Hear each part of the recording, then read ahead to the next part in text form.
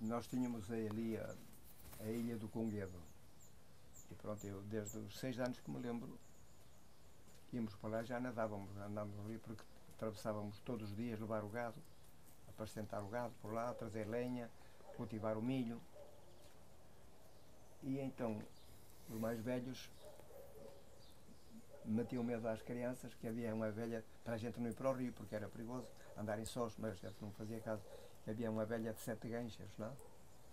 Que, apanhava os rapazes, e, mas a gente não, não ligava muito à velha de sete ganchas. Íamos lá, andávamos lá no, no rio, por exemplo, ao domingo, tenho saudades daquele tempo, porque juntávamos ali para aí 40, 30 moças e tudo com o gado, íamos para ali já por causa de no domingo de manhã. Uh, depois tomava-se tomar banho.